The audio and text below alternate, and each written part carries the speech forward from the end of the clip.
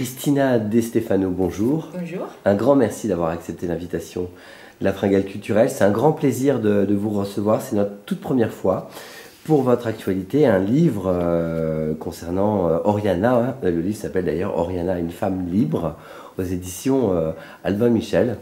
Comment est née l'envie d'écrire sur cette femme? Alors moi, je suis une passionnée des biographies féminines. J'ai toujours écrit des biographies de femmes qui sont plus toutes traduites en français, c'est mon grand plaisir. Et, hum, et je dirais que j'ai grandi avec Oriana, comme toutes les femmes italiennes. Parce que moi, je suis née en 1967 et quand j'avais 15 ans, Oriana était la star globale du journalisme.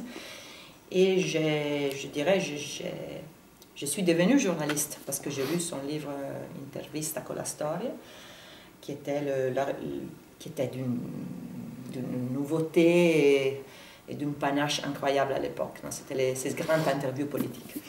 Et puis, je dois dire la vérité, je l'ai un peu abandonné, je l'ai un peu oublié, j'ai fait autre chose dans la vie, je suis devenue journaliste euh, dans le L italien. Et, et quand elle est morte en 2006, je me suis vraiment dite que ce devait être euh, super intéressant de travailler sa biographie en tant que biographe mais je n'avais pas les attaches, je ne connaissais pas sa famille, je, me disais que c'était un peu, peu délirant de penser à ça. Et puis du coup, en, en, 2008, deux ans après sa mort, j'ai reçu un appel de la maison d'édition d'Oriana en Italie qui me dit il y a le neveu d'Oriana Falacci qui veut vous rencontrer. Alors, je suis un peu tombée dans ma chaise. Et c'était une grande surprise. Cet, cet, homme avait lu, sa femme avait lu une de mes biographies précédentes américaine et voulait, voilà, voulait me demander si je voulais écrire la biographie de sa tante, euh, parce qu'il n'existe pas de biographie, n'existait pas de biographie de Rihanna Fallaci. Et c'est la première fois que j'écris un livre sur euh, commande. Ouais. Mais je n'ai pas pu me refuser parce que c'était vraiment une occasion historique. Je suis la première personne qui a eu accès à ces cartes. Et ça n'arrive pas toutes les fois d'être le premier. Simplement, je dis toujours euh, qu'après coup, j'ai pensé à cette phrase fameuse de Karen Blixen, euh, qui écrit dans son roman un peu connu euh, Quand les dieux veulent, nous punir, ils réalisent nos, nos, rêves. Mhm. Parce que quand même, c'était n'était pas un travail facile de travailler sur rien. Alors, disons que j'ai beaucoup aimé être sollicité sur ça, parce que c'est un personnage fascinant pour un biographe. Mais j'ai aussi quand même pas mal bataillé pour réaliser la biographie parce que le personnage n'est pas facile, euh, très compliqué, euh, très large et plein de contradictions. Alors c'était un sacré défi. Ouais, c'est intéressant ce que vous dites, ce, ce, côté euh, très flatteur parce qu'on vous le propose, mais ben finalement c'est... On est un peu puni. C'est un piège. parce qu'après coup, on a quand même une responsabilité. Moi, j'ai mis des années à travailler avec ça. J'ai demandé deux assistantes parce que c'était impossible d'aller aux États-Unis tout le temps ou en Italie. Et en même temps, euh, j'ai pensé au moins deux fois d'abandonner le projet pendant mes noches obscures, comme on dit en espagnol. Et je sais que je n'ai pas renoncé parce qu'il y avait quand même une famille qui s'attendait. J'avais une responsabilité envers quelqu'un qui m'avait demandé de le faire ça m'a sauvé, disons, parce que si j'étais, peut-être si, si, ça avait été quelque chose de personnel, peut-être j'aurais abandonné à mi-chemin, parce que voilà, c'est pas un personnage, c'est un personnage passionnant, mais pas du tout simple. Alors, c'est euh, un grand nom euh, du journalisme, Oriana. Euh, est-ce que ça, ça, fait partie des personnes qui vous ont donné, vous, envie d'être journaliste?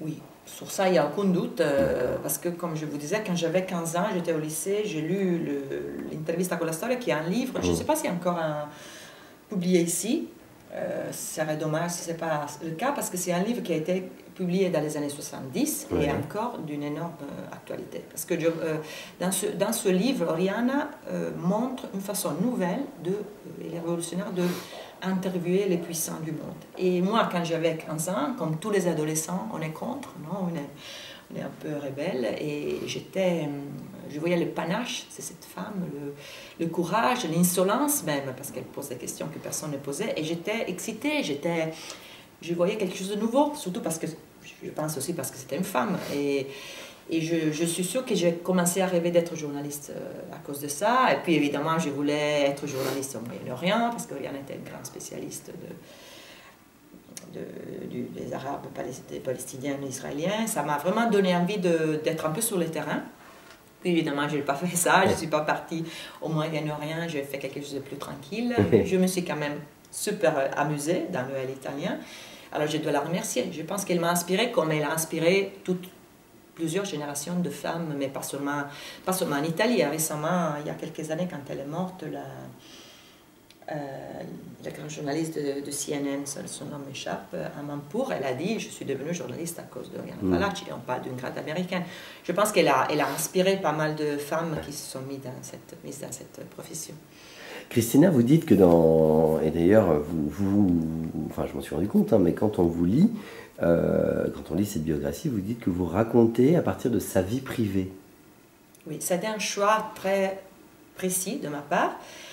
Parce que j'avais ce problème. Oriana Fallaci est une femme qui a vécu 30 vies en une seule vie. C'est un personnage, on dit en, anglais, plus large que la vie. Et alors, le problème, c'était par, par quel bout je la prends. Mm. Parce que, voilà, elle est plutôt insaisissable.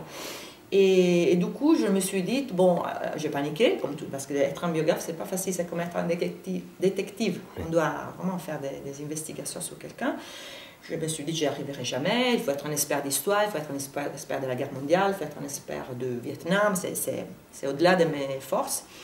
Et puis je me suis, je me suis dit, au final, quelle est la nouveauté, quelle est la, la nouveauté de ta position? C'est qu'on te permet de mettre les mains sur les cartes privées d'Oriana. C'est la première fois. Oriana s'est beaucoup raconté, mais c'est la première fois que quelqu'un lit ses lettres, ses, ses, agendas, qui voit ses photos, lit ses lettres d'amour, ses poésies, parce qu'elle écrivait des très belles poésies d'amour en français.